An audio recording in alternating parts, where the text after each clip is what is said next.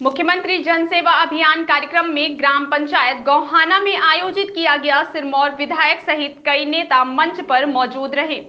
मंच से सिरमौर विधानसभा के विधायक दिव्यराज सिंह शासन की जन कल्याणकारी योजनाओं के बारे में आम जनता को अवगत करा रहे थे। तभी विधायक मंच से ही सचिव गोहाना से पीएम आवास और संबल योजना की जानकारी मांग लिए, जिस पर सचिव मुकुंद बिहारी तिवारी ने कहा कि मुझे कोई जानकारी नहीं थी।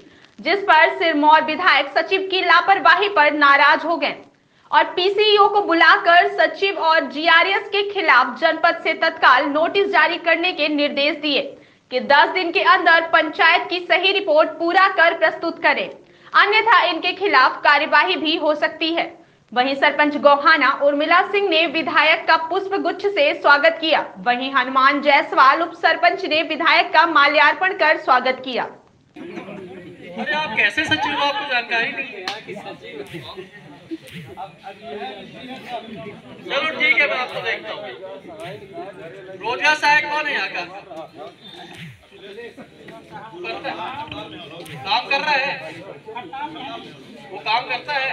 आपको जानकारी कितने संबल बन गए? आप पति है ना? नहीं। भाभी है सर कितने जानकारी है आपको? कितने बन गए? आप तो पढ़े लिखे हैं। सैतालीस क्या है? सैतालीस ही बने।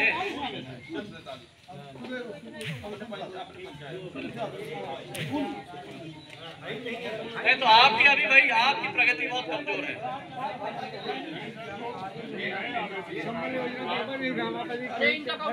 नहीं बनाया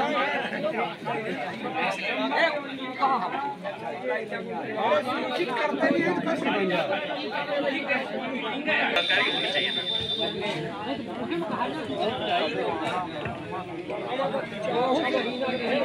चलिए ठीक है, आप हम देखते हैं। आप बताइए इनका लिखना पड़ेगा कहाँ काम नहीं कर पा रहे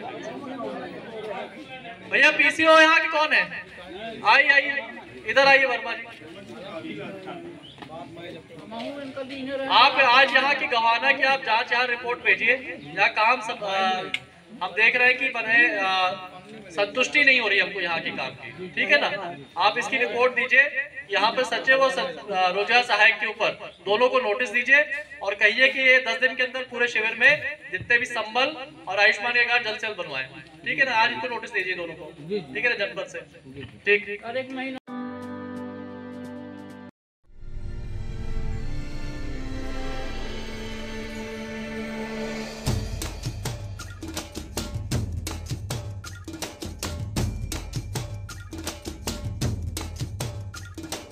इतने सुंदर सुंदर गहने हैं लाए। दुल्हन के रूप में चार चाँद लगाए।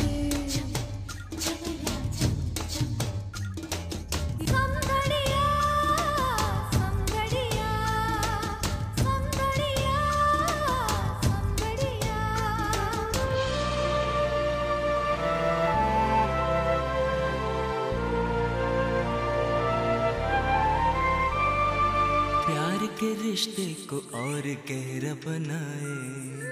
समदड़िया आभूषण का जादू है छाए।